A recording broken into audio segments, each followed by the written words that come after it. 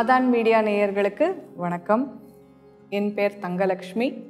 விவேகானந்த கேந்திரம் கன்னியாகுமரி இந்த ஆர்கனைசேஷனுடைய வாலண்டியர் விவேகானந்த கேந்திரம் கன்னியாகுமரியில் இருக்கிறது. விவேகானந்த ராக் மெமோரியலை ஒட்டி இருக்கிற ஆர்கனைசேஷன் ராக் மெமோரியலை கட்டிட்டு இந்த ஆர்கனைசேஷனையும் ஆரம்பித்தது ஸ்ரீ ஏக்நாத் ரானடே அப்படிங்கிறவர்.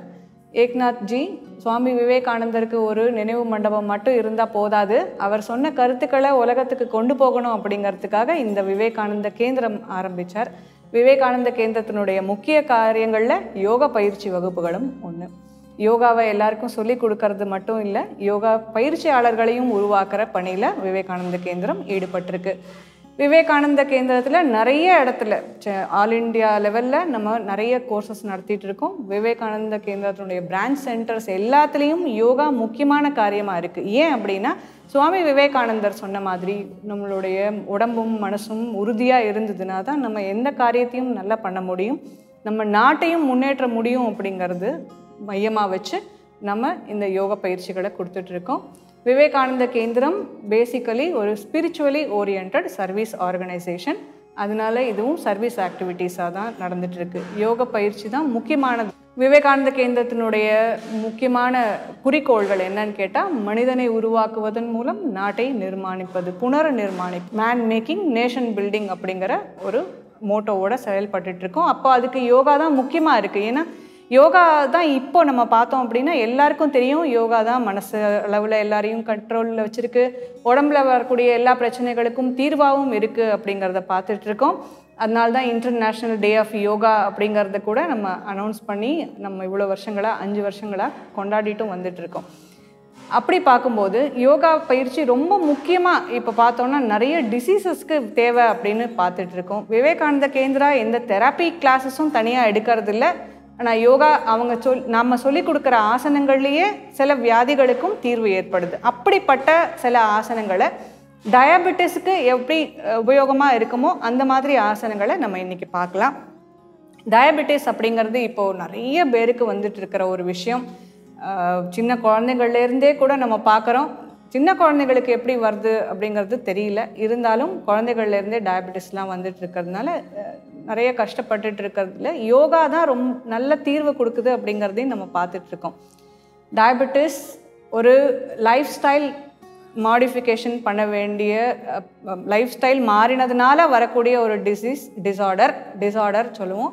மெட்டபாலிக் டிஸார்டர் அப்படின்னு சொல்லுவோம். நம்ம லைஃப் ஸ்டைல் சேஞ்ச் பண்ணினதுனால அதாவது நேரத்துக்கு சாப்பிடாம நேரம் தப்பி சாப்பிட்றது கண்ட கண்ட நேரத்தில் சாப்பிட்றது நேரத்துக்கு தூங்காமல் ரொம்ப நேரம் தூங்குறது இல்லை தூங்காமலே இருக்கிறது இல்லை பகலில் தூங்கிட்டு நைட்டெல்லாம் முழிச்சிருக்கிறது இந்த மாதிரி நம்மளை நம்ம ரொம்ப சிரமத்துக்கு உள்ளாக்குறோம் நம்ம உடம்ப. அந்த மாதிரி பண்ணும்போது இந்த டயபெட்டிஸ் மாதிரியான வியாதிகள் வந்துட்டு இருக்கு.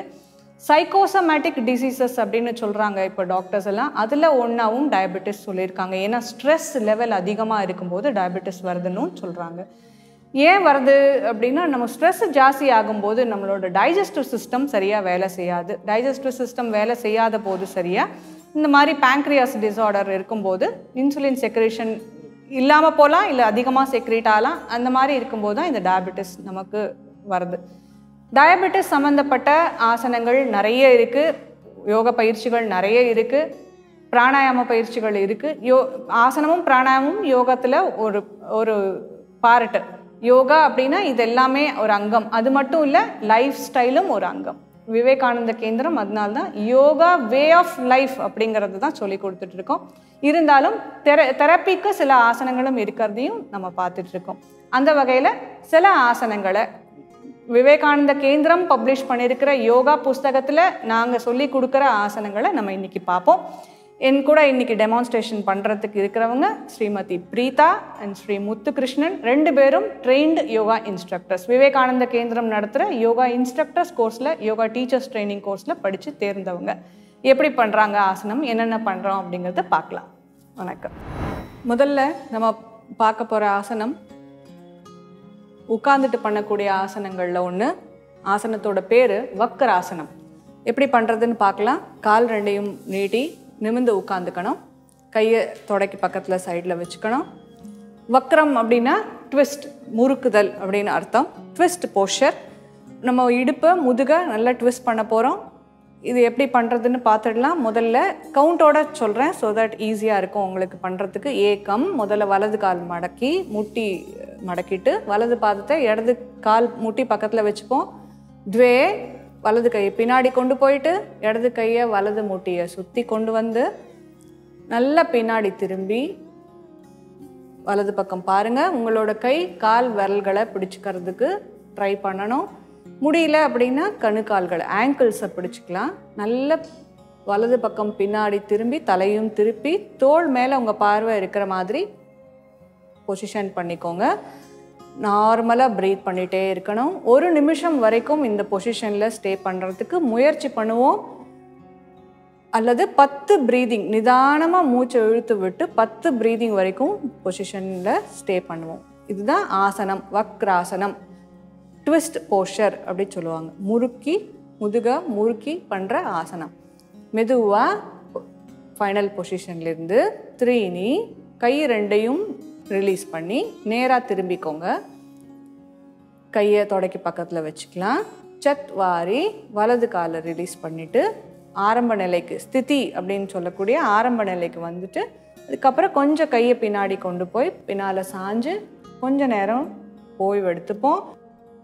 அதுக்கப்புறம் வக்கராசனத்தை நம்ம வலது காலில் பண்ணினோம். இப்போ இடது காலில் பண்ணுறது பார்ப்போம்.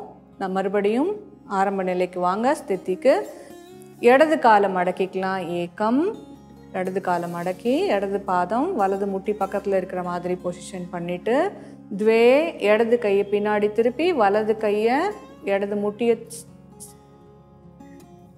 திருப்பி நல்லா கொண்டு வந்துட்டு மாற்றி கால் பாதத்தை பிடிச்சிக்க ட்ரை பண்ணுங்கள் பின்னாடி திரும்பி இடது பக்கமாக பின்னாடி திரும்பி தலையும் திருப்பி தோள் மேலே பார்வை இருக்கிற மாதிரி வச்சுக்கோங்க. ஒரு நிமிஷம் வரைக்கும் அல்லது பத்து ப்ரீதிங் வரைக்கும் பொசிஷனில் இருந்துட்டு ஆசனத்தில் இருந்துட்டு மெதுவாக த்ரீனி கை ரெண்டையும் ரிலீஸ் பண்ணி நேராக திரும்பிக்கலாம். கையை தொடக்கி பக்கத்தில் வச்சுப்போம். சத் வாரி இடது காலை நீட்டி ரிலீஸ் பண்ணிவிட்டு ஸ்திதி ஆரம்ப நிலைக்கு வந்துட்டு பின்னாடி சாஞ்சு கொஞ்சம் நேரம் ரிலாக்ஸ் பண்ணிப்போம். வக்ராசனம் பண்ணுறதுனால டைஜஸ்டிவ் டிசார்டர்ஸுக்கு நல்லது. பேங்க்ரியாஸ் அதாவது நமக்கு இன்சுலின் செக்ரேட் பண்ணுற பேங்க்ரியாஸ் ரொம்ப நல்ல வேலை செய்ய ஆரம்பிக்கும். அதனால டயபெட்டிஸ் ப்ராப்ளத்துக்கு இந்த ஆசனம் ரொம்ப ரொம்ப முக்கியமான ஆசனம். முதுகில் நல்ல ஒரு ட்விஸ்டிங் எஃபெக்ட் கிடைக்கிறதுனால முதுகு வலி இடுப்பு வலி கழுத்து வலிக்கெல்லாம் ரொம்ப உபயோகமாக இருக்கும். கால்கள்லேயும் நிறைய மாற்றங்கள் நரம்பு மண்டலத்தில் நிறைய சேஞ்சஸ் நடக்கும். இப்போ மெதுவாக அடுத்த ஆசனத்துக்கு போகலாம் ஆரம்ப நிலைக்கு வாங்க. உட்காந்து பண்ணக்கூடிய ஆசனம் தான் இதுவும். இந்த வக்ர ஆசனத்திலேயே இன்னும் கொஞ்சம் அட்வான்ஸ்டு பொசிஷன் அது. அர்த்த மத்சேந்திர ஆசனம்னு பேர். மத்சேந்திரநாத் அப்படிங்கிற ஒரு ரிஷி இந்த பொசிஷனை பண்ணினதுனால அவரோட பேர்லேயே இந்த ஆசனத்தை வச்சுருக்காங்க.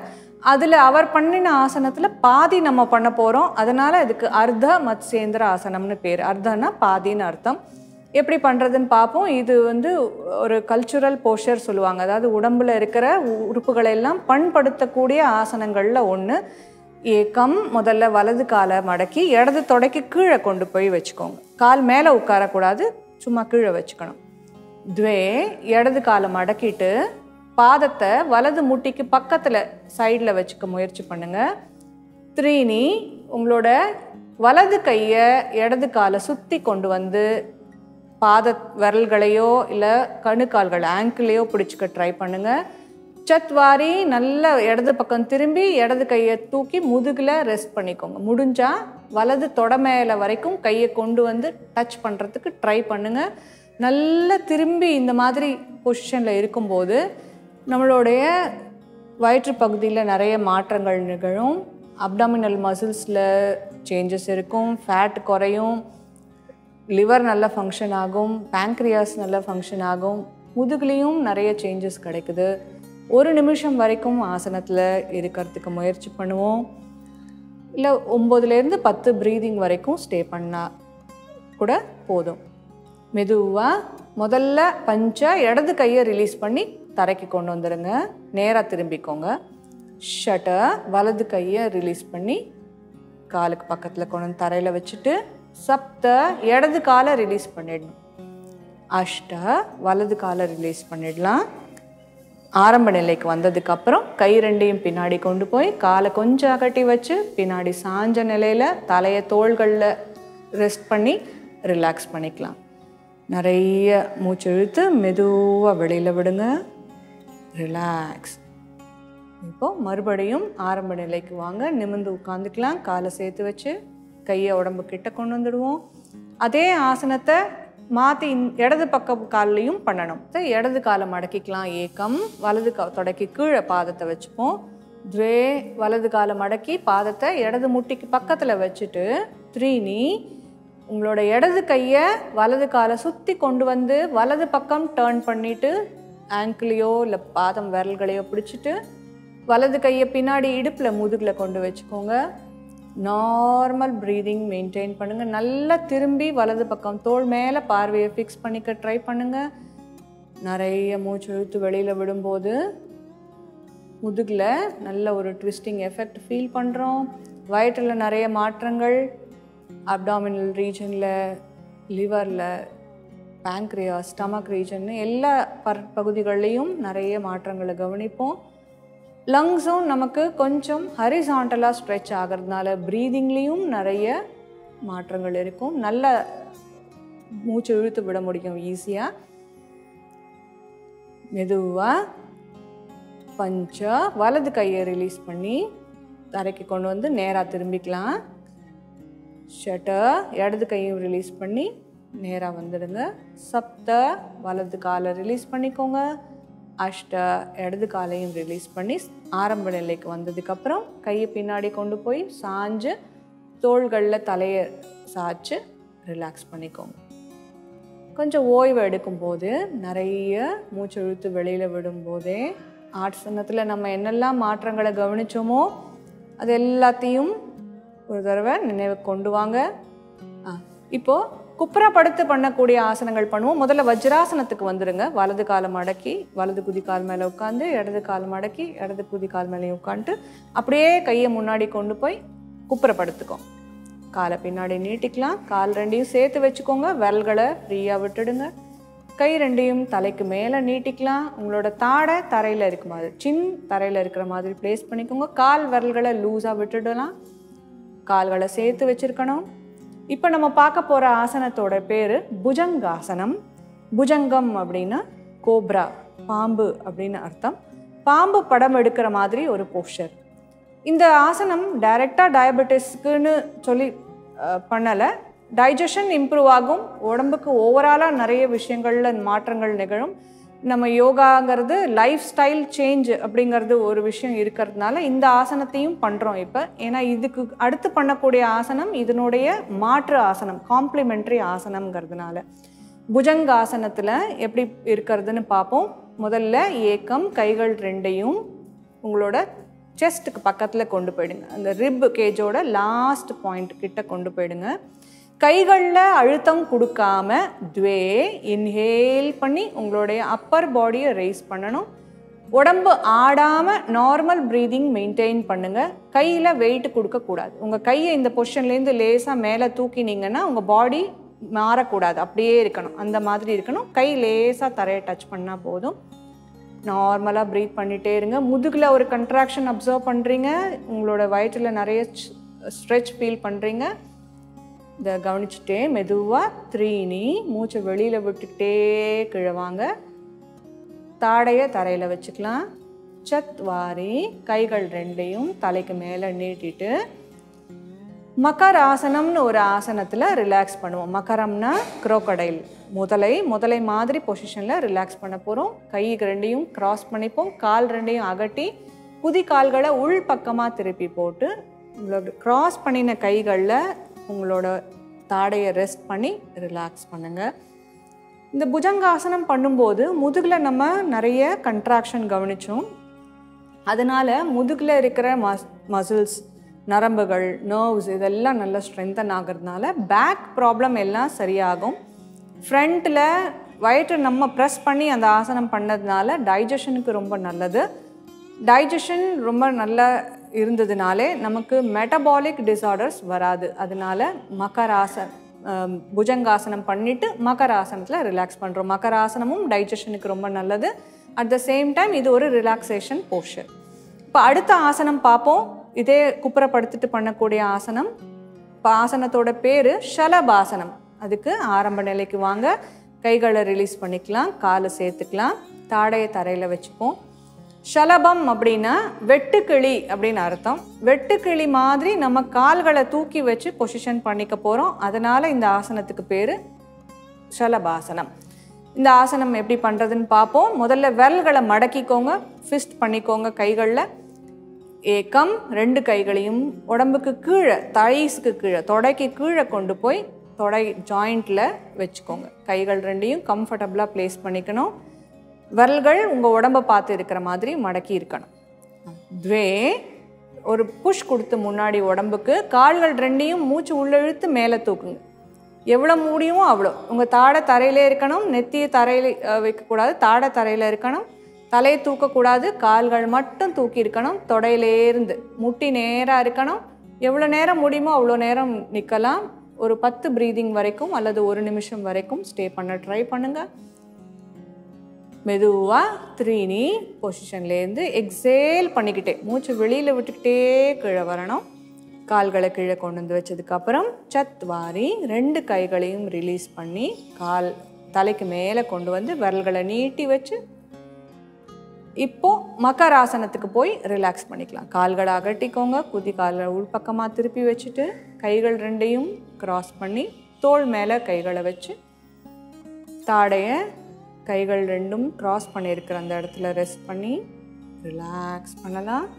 நிறைய மூச்சு இழுத்து மெதுவாக வெளியில் விடும்போது ஷலபாசனம் நம்ம பண்ணும்போது இருந்த ஸ்ட்ரெயின் அன்னீசினஸ் இதெல்லாம் போய் நல்ல ரிலாக்ஸேஷன் ஃபீல் பண்ணுறோம் ஷலபாசனத்தில் முக்கியமாக கால்களில் நிறைய மாற்றங்களை கவனித்தோம் வயரில் ஒரு அழுத்தம் கவனிச்சிருந்திருப்போம். பொசிஷனில் இருக்கும்போது இந்த ஆசனம் டயபெட்டிஸ்க்கு நல்லது அது மட்டும் இல்லாமல் கால்களில் வரக்கூடிய வேரிகோஸ் வெயின்ஸ் சொல்லுவாங்களே நரம்பு முடிச்சுகள் அந்த பிரச்சனைகளுக்கும் ரொம்ப நல்ல தீர்வு கொடுக்கும். சலபாசனம் பண்ணிவிட்டு மக்கராசனத்தில் ரிலாக்ஸ் பண்ணிக்கணும். ரிலாக்ஸ் இந்த ரிலாக்ஸேஷனுக்கு அப்புறம் மெதுவாக கைகளை நீட்டிக்கலாம். கால்களை சேர்த்துக்கலாம். இன்னும் ஒரு ஆசனம் குப்புறப்படுத்திட்டு பண்ணக்கூடிய ஆசனங்களை பார்க்கலாம். டயபெட்டிஸ்க்கு நல்லது. நீரிழிவு நோய்க்கு நல்ல முக்கியமான ஒரு எஃபெக்ட் கொடுக்கக்கூடிய ஆசனம். அதே சமயத்தில் ஓவரால் பாடிக்கும் நல்ல சேஞ்ச் கொடுக்கக்கூடிய ஆசனம். தனுராசனம்னு பேர். தனு அப்படின்னா பவ் வில் அப்படின்னு அர்த்தம். வில்லு மாதிரி நம்ம வளைக்க போகிறோம் உடம்ப அதனால் இந்த ஆசனத்துக்கு பேர் தனுராசனம் ஆசனம் எப்படி பண்ணுறது பார்ப்போம். ஏக்கம் ரெண்டு கால்களையும் மடக்கிக்கணும். கைகள் ரெண்டையும் பின்னாடி கொண்டு போய் கால்களை கணுக்கால்களை ஆங்கிள்ஸை பிடிச்சிக்கணும். முட்டியை செப்பரேட் பண்ணாமல் முட்டியை அகட்டி வைக்காமல் துவேல மூச்சை உள்ள இழுத்துக்கிட்டே அப்பர் பாடியும் ரைஸ் பண்ணும் கால்களையும் தூக்கணும். கால்களையும் தூக்கணும். வில்லு மாதிரி நம்ம உடம்பு இப்போ வளைஞ்சு இருக்கிறதுனால இந்த ஆசனத்துக்கு பேர் தனுராசனம். வயரில் நிறைய ப்ரெஷர் இருக்குது இந்த ஆசனத்தில். வயத்தில் தான் நம்ம பாடி வெயிட்டை பேலன்ஸ் பண்ணிகிட்டு இருக்கோம். மெதுவாக த்ரீனி கீழே வரலாம். தாடை தரையில் வச்சுக்கலாம். கை கால்களையும் கீழே வச்சுக்கலாம். கொஞ்சம் மூச்சு இழுத்து ரிலாக்ஸ் பண்ணிவிட்டு சத்வாரி கைகளை ரிலீஸ் பண்ணிவிடுங்க தலைக்கு மேலே கொண்டு வந்துடுங்க. கால்களையும் நீட்டிக்கலாம். மகராசனத்தில் ரிலாக்ஸ் பண்ணிக்கலாம். தனுராசனம் பண்ணும்போது வயிற்றில் நல்ல அழுத்தம் கிடைக்கிறதுனால வயிற்றில் இருக்கிற எல்லா உறுப்புகளும் நல்ல வேலை செய்யும். ஒபிசிட்டிக்கு அதாவது வெயிட் போட்டுருது. நிறைய வெயிட் இன்க்ரீஸ் ஆயிருக்கு அப்படிங்கிறவங்களுக்கு வெயிட் லாஸுக்கு இந்த ஆசனம் ரொம்ப ரொம்ப யூஸ்ஃபுல்லாக இருக்கும்.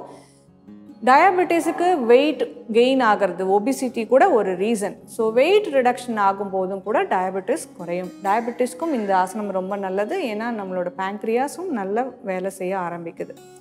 மகராசனத்தில் கொஞ்சம் நேரம் ரிலாக்ஸ் பண்ணிவிட்டு அப்படியே கை கால்களை நீட்டி நேராக கொண்டு வந்துட்டு திரும்பி படுத்து அப்படியே ரோல் ஆகி முதுகில் படுத்து ஷவாசனத்தில் கொஞ்ச நேரம் ரிலாக்ஸ் பண்ணிக்கோங்க.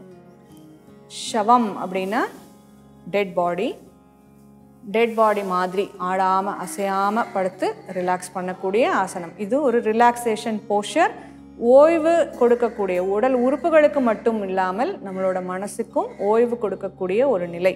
அதனால் இதுக்கு பேர் ஷவாசனம் இந்த ஆசனத்தில் கால்கள் ரெண்டையும் கொஞ்சம் அகட்டி வச்சுப்போம். கைகளை உடம்புலேருந்து ஒரு ஒரு ஜான் இடைவெளிக்கு அகட்டி வச்சுப்போம். தலையை கழுத்தை முதுகை எல்லாம் கம்ஃபர்டபுளாக தலை தரையில் ரெஸ்ட் பண்ணியிருப்போம். வயிற்று மூச்சு இழுத்து விடுவோம். அதாவது மூச்சு உள்ளே இழுக்கும்போது வயிறு பெருசாகணும் மார்பு விரிவடையணும். மூச்சு வெளியில் விடும்போது வயிறு சுருங்கணும் மார்பும் சுருங்கணும். Inhale expand your stomach and abdomen region, chest region. Exhale, compress the stomach, contract the chest. Relax. இந்த மாதிரி ஒரு பத்துலேருந்து பதினஞ்சு தடவை நல்ல ஆழமான மூச்சு இழுத்து வெளியில் விட்டு நம்ம உடம்புல நடக்கக்கூடிய நிகழ்வுகளை கவனிச்சுட்டே இருந்தோம் அப்படின்னா தானாகவே கொஞ்ச நேரத்தில் உடம்புல நல்ல ஒரு ஓய்வு கிடைக்கும் நம்மளோட கவனம் முழுக்க முழுக்க நம்ம உடம்புலையும் நம்மளோட மூச்சுலேயுமே இருக்கணும். இந்த ஆசனத்தில் தூங்கிடக்கூடாது. நமக்கு சமயத்தில் இந்த மாதிரி படுத்துக்கிட்டோன்னா தூக்கம் வந்துடும் தூங்கக்கூடாது. ஃபுல்லாக அவேராக இருக்கணும். ப்ரீதிங் அப்சர்வ் பண்ணிகிட்டே இருக்கணும். உடம்புல மாற்றங்களையும் கவனிச்சுக்கிட்டே இருக்கணும்.